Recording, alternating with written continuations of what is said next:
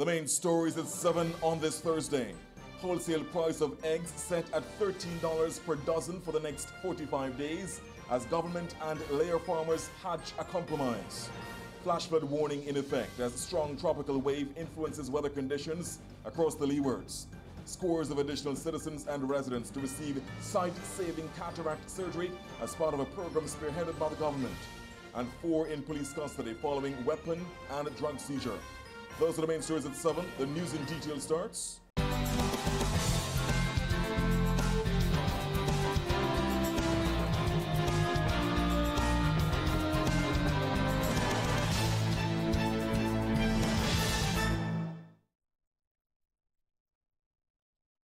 The local evening news is brought to you by Nagico, local agents Bryson's Insurance.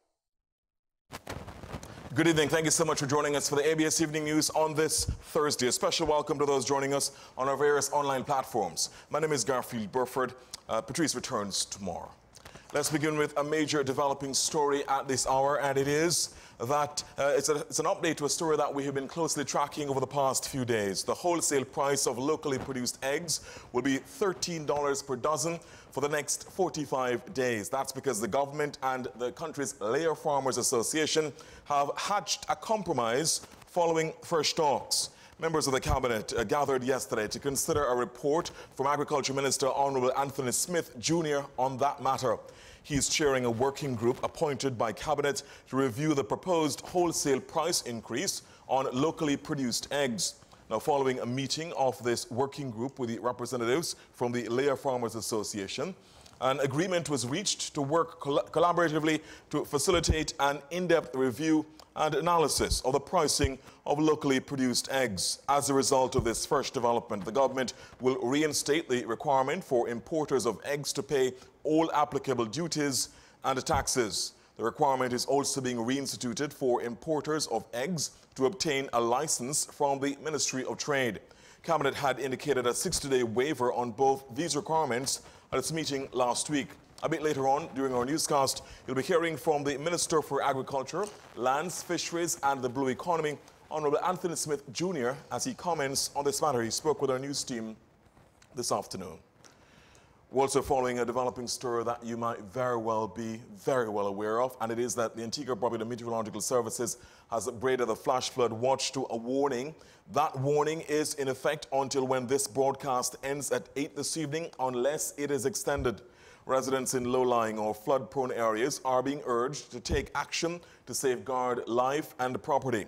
The Met Office says weather conditions across the Leeward Islands are being influenced by a very active tropical wave which has been producing moderate to heavy showers.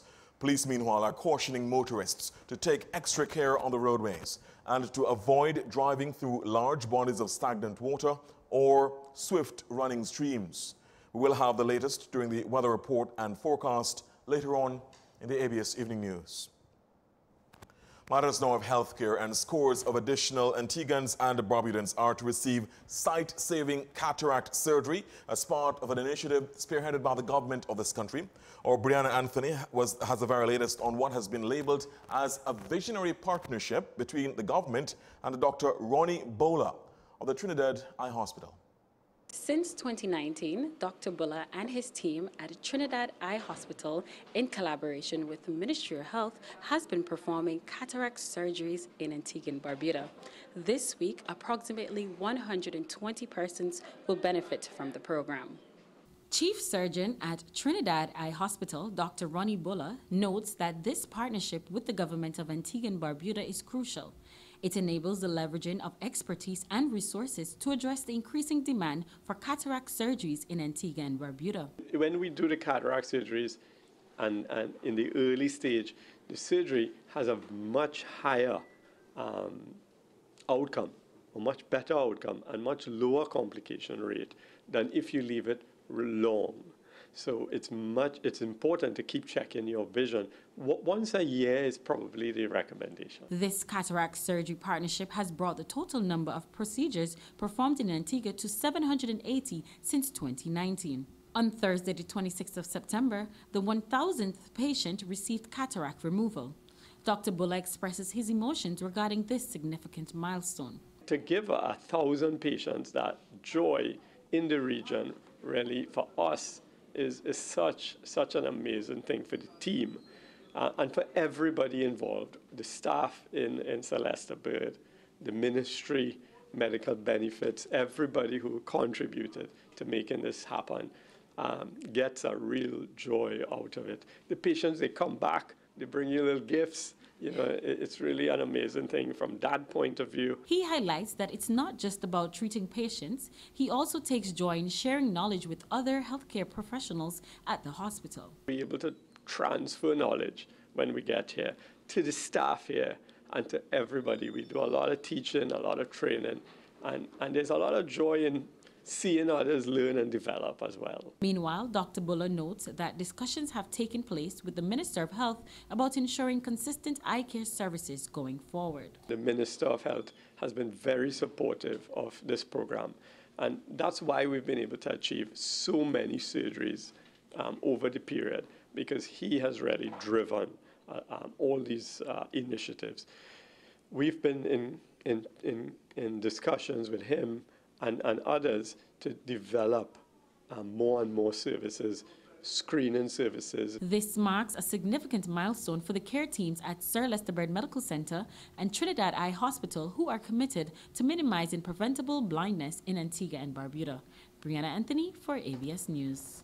Meanwhile, staff at Sir Lester Bird Medical Center say they are continuing to do their part to preserve the eye health of this country's citizens. Here's more again from uh, Brianna Anthony.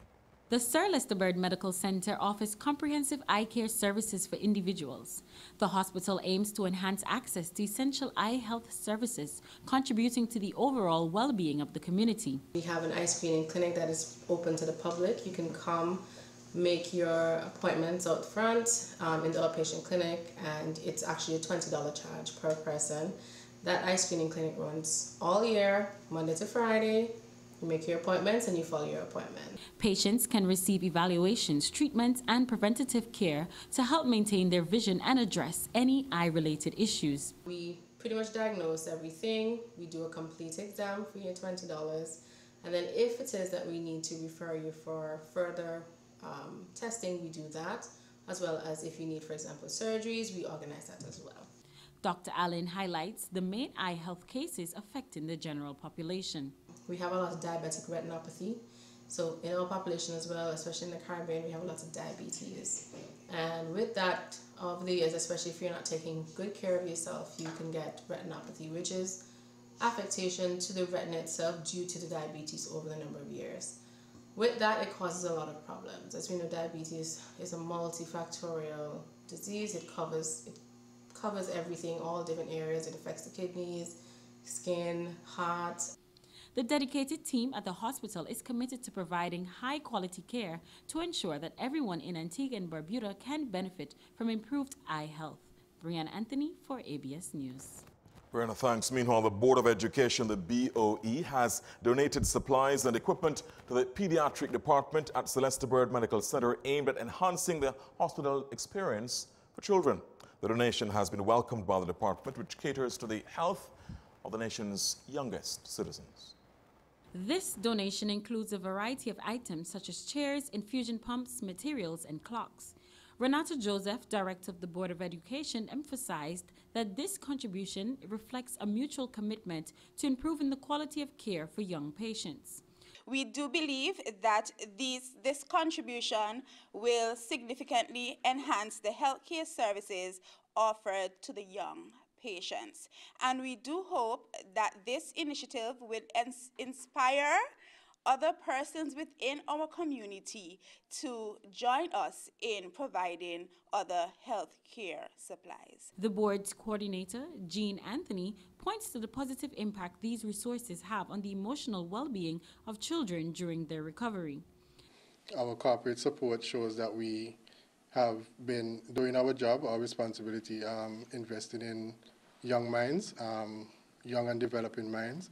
And so we hope that you know this um, donation is something that will be continuous and more often because we see the need to, you know, reach out to the young ones. Head of the pediatric department at Sir Lester Bird Medical Center, Dr. Siobhan Bell Jarvis, says this enduring partnership highlights the essential role of community organizations in enhancing healthcare services for children in our nation. So we are happy, proud, to accept on behalf not only of the pediatric department but the families that we serve and even the administration and board of the Sir Lester Bird Medical Center these items that will go a very long way in making the difference in a child's life. These donations reflect community commitment to supporting families during challenging times while fostering a positive healthcare environment. Brianna Anthony for ABS News. Let's stay with the subject of healthcare because the Antigua, Antigua Barbuda has announced the establishment of a national childhood cancer registry. Head of the Department of Pediatrics at Sir Lester Bird Medical Center, Dr. Siobhan Bell Jarvis, is announcing an initiative focused on gathering comprehensive data on childhood cancer across this nation. Take a listen. We do have figures that we're trying to put together in a registry. As a matter of fact, we have a formal training next month for a childhood cancer registry. So this is like fresh off the press. Because at the end of the day, we want to be able to appropriately track our children who have been diagnosed with cancer. She emphasizes that this development is crucial as part of a larger commitment to enhancing pediatric health services in the Twin state. Whether it be overseas, coming back to Antigua, or Antigua going overseas, whether in public practice or private practice. And so registry is important. Now, stakeholders are optimistic that the registry will pave the way for enhanced treatment protocols and support systems for families dealing with childhood cancer. Dr. Siobhan Bell Jarvis was a guest on Tuesday's House Calls on ABS as part of the observance of September as Childhood Cancer Awareness Month. A major developing story now from the justice system. The High Court has ruled in favor of the principles of the Peace, Love and Happiness or PLH project in Barbuda in a case filed by the Barbuda Council regarding land lease payments.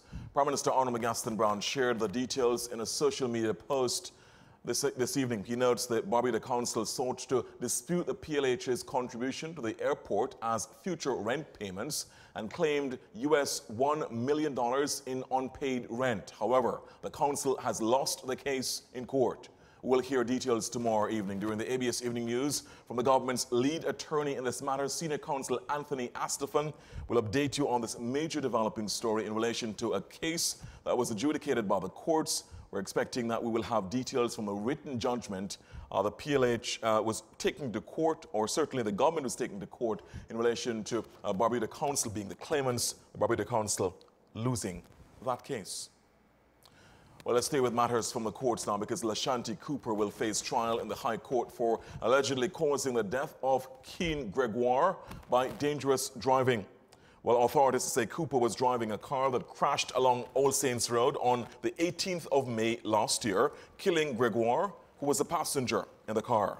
The prosecution claims Cooper was speeding or driving in a manner that put the public at risk. Her attorney, Michael Archibald, says his client is reserving her defense at this time. The case has been committed to the January assizes when Cooper will get her first opportunity to plead to the charge. Well, four individuals are in police custody following the discovery of an unlicensed firearm as well as ammunition and cannabis allegedly in their possession. Today, police executed a search warrant on a property at Liberta and seized one 9mm firearm and several rounds of ammunition, along with a portion of cannabis. Here's more because the men were then arrested and taken in for questioning. In a separate incident, two residents of Clarkskill were arrested and taken into custody on Thursday after the police searched their home and found over 100 rounds of different caliber ammunition and a quantity of cannabis in their possession. They are also being questioned by law enforcers. Well, police say from January 1 this year to present, they have seized 47 illegal firearms and over 400 rounds of ammunition from the nation's streets. Several people were arrested and charged for firearm-related offenses, resulting in several convictions, fines, and prison sentences. The police say they are committed to intensifying their crime-fighting measures to rid the streets of illegal firearms and keep crime under control. Of course, as we have been reporting, uh, both houses of parliament have approved a suite of legislative measures aimed at tamping down the uptick in crime, part of which will include uh, imposing tougher sentences for gun crimes. Meanwhile, Kareem Edwards' challenge against his committal on a charge of causing death by dangerous driving has been denied. Here's more because Acting Chief Magistrate Dexter Wason ruled in favor of the prosecution today, saying Edwards will have to face trial for his alleged involvement in the crash that killed 21-year-old medical student Kenneth Matthew. The incident uh, happened two years ago on Friars Hill Road and also left another student, as well as Brianna Dias, uh, severely injured. Edwards' attorney, Wendell Alexander, had filed an application challenging the committal. But while the magistrate says the lawyer raised what, pertin what pertinent issues, he adds they are, that matter should be resolved at trial. Edwards is expected to be committed to the High Court on October 23, two-year anniversary of the crash. Well, a Cuban national is being deported after illegally entering Antigua Barbuda on a party boat. Here's more because 26-year-old uh, Maria Lopez admitted to overstaying in St. Kitts and Nevis and disembarking in Antigua without the required immigration clearance. She also failed to present herself to immigration officers upon arrival. Lopez was arrested at VC Bird International Airport Monday after buying a ticket back to St. Kitts. She faced multiple charges and pleaded guilty to all of them. Senior Magistrate Nayo Emmanuel reprimanded and discharged Lopez but a deportation order has been signed to remove her from the country. She's currently being held at a detention center until her scheduled deportation tomorrow. Two men accused of separate murders will have to wait until November to know if their cases will proceed to the High Court. Here's more of this developing story because Dennis or Denris Josiah, charged with the March 31 murder of Ricardo Joseph in Old Road, and Clarence Cameron, accused of killing Omari Graham in Bendals Village on May 5, appeared in court on Wednesday. Both men appeared before senior magistrate Nayo Emmanuel, but procedural delays pushed their committal hearings to November 27. Now, a Jamaican man once accused of attempted murder and unlawful confinement has been deported after the alleged victims decided to drop the charges. Deron Campbell, who resided in Bendals, was accused of trying to kill Ovid Lewis at Ferris Farm September last year.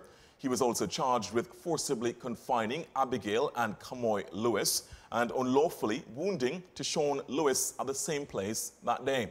Wednesday, prosecutors from the Director of Public Prosecution's Office discontinued the case and the court dismissed all charges. Senior Magistrate Nayo Emmanuel later signed an order to deport Campbell as a prohibited immigrant.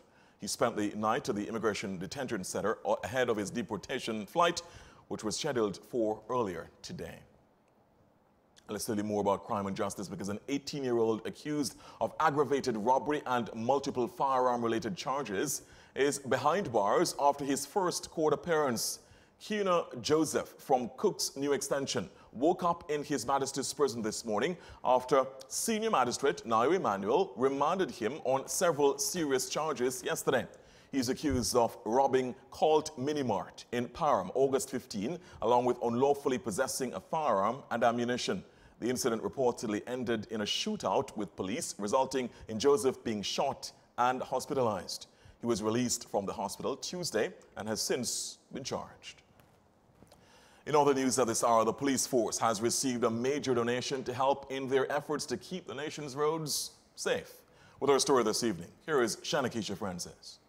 The police's traffic department received a boost in resources following a generous donation from two national youth ambassadors, Shaquan O'Neill and Jamal Frederick. Mr. Kwame, sorry, um, he would have told us what he need, and then we say, okay, we're to get them. And we put our resources together and say, this as young leaders would have been best for us to show our appreciation for the traffic department and hopefully it will be an encouragement to others to make uh, their contributions to the police department. Reflector jackets and signal lights were among the items donated. Deputy Commissioner of Police Everton Jeffers welcomes the donation officers would be out in the night and the uniform is gray and black. The reflector vest, that is a good addition at least you can see the vest from a distance because it actually reflects.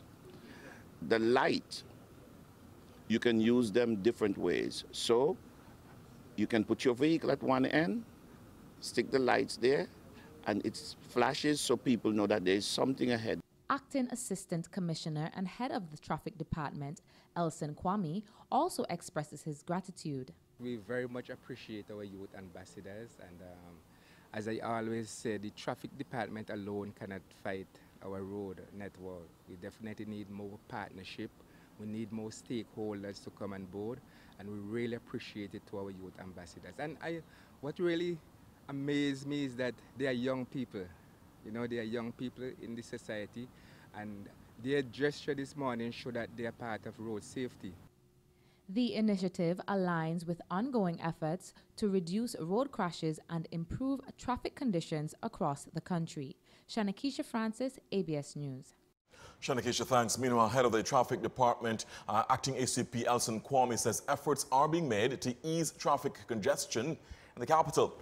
He's been engaged in meetings with the Attorney General and Public Safety Minister Honorable Steadroy Benjamin and other officials on this issue. Take a listen. I propose to them that we have to um, develop some of these secondary roads because some of them are in deplorable condition. You have to develop these secondary roads so that they could be used as alternative route to ease the pressure from the major, major roads in Antigua Barbuda.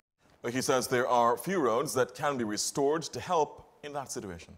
There was a, a good road around Beaumont, the hurricane damaged that and then it never fixed, and that would be a very good road to alternate to go around the airport and you know, to ease the congestion, the pressure, and the, and the South Sydney Wallins Highway. We're also looking at some areas in Scottsdale, some areas in um, Bellevue where you could move from Allsaints Road, take you down to Bendals Road and have a smooth flow. But these roads need to develop. Well, the senior policeman also encourages corporate Antigua to help.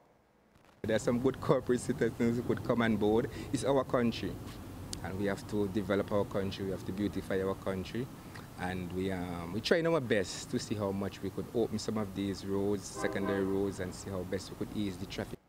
Of course, uh, our top story this evening is about the fact that the government and the Layer Farmers Association have hatched a compromise in relation to egg prices, and it means that egg prices, the wholesale prices, will be at $13 per dozen for the next 45 days. And as we reported earlier, members of the cabinet gathered yesterday to consider a report from Agriculture Minister Honorable Anthony Smith Jr. on the matter. He's chairing a working group appointed by cabinet to review the proposed wholesale price increase on locally produced eggs. He spoke with us this afternoon. Take a listen. Uh, quite a good discussions about um, understanding that the government really supports the sector. We really want to see the sector grow and strive. However, while doing such, we also have to ensure that the cost of egg remains reasonable for consumers. All right, of course, uh, we, as we told you as well earlier on, uh, as a result of this fresh development, the government will reinstate the requirement for importers of eggs to pay all applicable duties and taxes. The requirement is also being reinstituted for importers of eggs to obtain a license from the Ministry of Trade. Of course, as we had told you last week, Cabinet at its meeting then, last Wednesday, had indicated a waiver of those requirements for the next 60 days to ensure that the market could be liberalized. So those restrictions or those requirements are back in, have been reinstated. Here's what Minister Smith Jr. said about that issue today.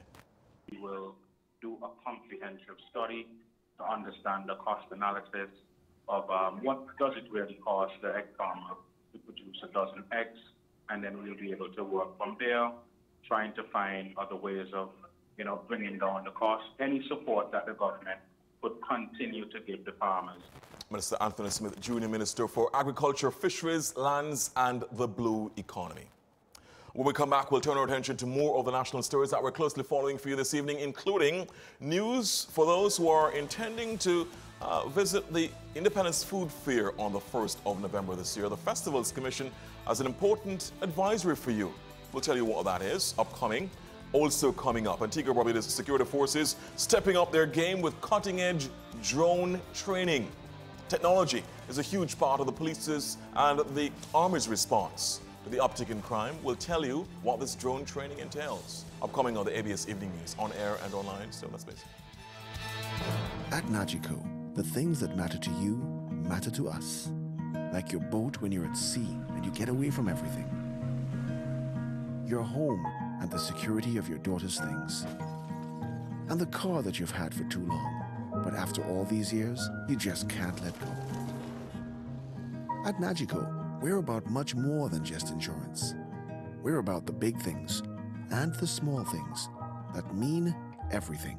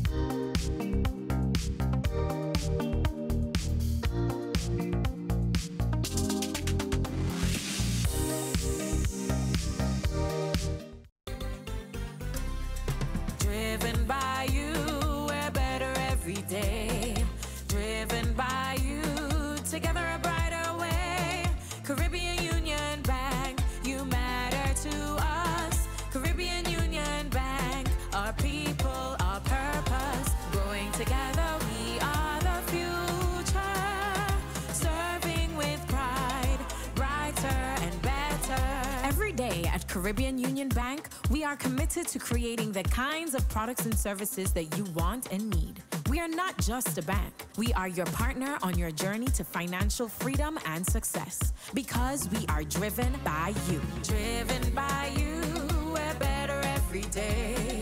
Driven by you, together a brighter way. Caribbean Union Bank, driven by you.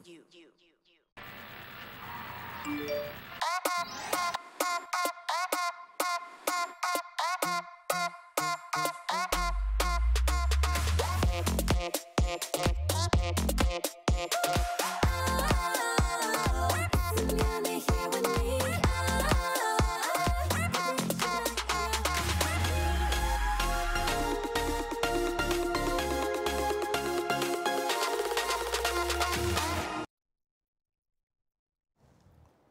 Welcome back. Thank you so much for staying with us. You're in with the ABS Evening News on air and online. More national news. If you plan to attend the Independence Food Fair this year, please listen carefully to our next report as the Festivals Commission is starting or sharing some crucial information about it. Shanakisha Francis reports. The Festivals Commission has announced a slight change in the location for the National Independence Day Food Fair for this year, a highly anticipated annual event celebrating the culinary diversity of Antigua and Barbuda. Chairman of this year's food fair, Gilbert Lodat, explains the reason for the change. This year there's cricket, and there'll be cricket on the day before the food fair, and cricket on the day after the food fair. Okay, now, as you know, said, when, there is a cricket match, you have to prepare the ground, prepare the area and everything. So that is the reason why we are outside of the ground. Organizers made the announcement on Wednesday. However, Lodat assures the food fair will be well organized. Everything will be the same. There'll be hand washing stations, there will be um, light, there will be water for the vendors, pipe water. So everything will be there. The whole logistic will be there for the vendors. He says so far, registration for the fair has been overwhelming. Registration have been very good, I must say, and person is still coming, and we are hoping to end it by tomorrow. But then, after speaking to the director, which is the director festival, Mrs. Um, O'Keefe, that we will extend it to next week. But it has been going quite nicely. We already passed the mark of 150. So we know, and we only let we only left 50 more space. With a commitment to promoting Antiguan culture and cuisine, the Independence Food Fair promises to be an unforgettable experience despite the slight adjustment. Shanakisha Francis, ABS News. Now, Antigua and Barbuda's security forces are stepping up their game with cutting-edge drone training. We'll tell you more about this developing story because border security officials from the police, the Defense Force, and the Office of National Drug and Money Laundering Control Policy, the ONDCP, well, they have uh, st started a week-long program hosted by Aerodrome UAS Solutions. The sessions held at the Sir Wright F. George Police Academy featured hands-on lessons in drone piloting for military and peacekeeping operations. Chief of Defense Staff, uh, that's Brigadier Telbert Benjamin, says the training or the train the trainer exercise is part of efforts to boost aerial surveillance across Antigua Barbuda. As far as I've been advised by those managing the training, it has been very successful. Uh, the participants have all been very enthusiastic as we are introducing new technology um, within the, the, the ambit of the security forces. Brigadier Benjamin says they are looking forward to integrating this vital resource into their day-to-day uh, operations as well. It is something that we have been using um, to a limited extent um, over time. Um, now we have been able to, with the support of the government, secure more resources um, that can assist us uh, to cover a wider, wider area in a shorter period of time. The course led by Giovanni Ruiz and Stuart Della Rosa combines theory with practical fieldwork. Let's start taking sort of a look at the national developments that we're tracking on a very wet Thursday evening. Turning our attention to the weather report and forecast, we know you're all ears. Patrice Edwards is here to talk us through why we're having so many showers and whether or not they will continue overnight into tomorrow. Patrice, everyone is hanging on to you every word. Over to you. Yes, it was a wet and wonderful Thursday, Garfield, across Antigua and Barbuda. And we have a bit of activity in the tropical Atlantic, so we got to get into that and whether we're going to advance that flash flood warning past 8 p.m. We'll get back to that when we come back. The weather report is brought to you by Leeward Islands Hurricane Protection.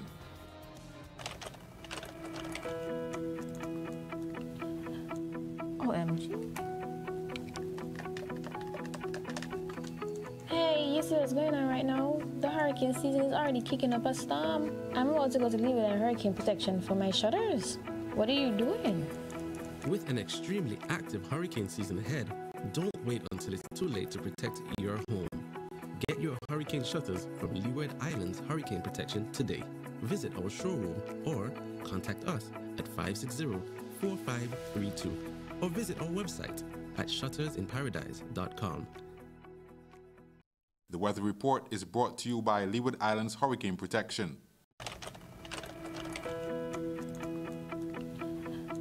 OMG. Hey, you see what's going on right now? The hurricane season is already kicking up a storm. I'm about to go to Leeward and Hurricane Protection for my shutters. What are you doing? With an extremely active hurricane season ahead, don't wait until it's too late to protect your home. Get your hurricane shutters from Leeward Islands Hurricane Protection today.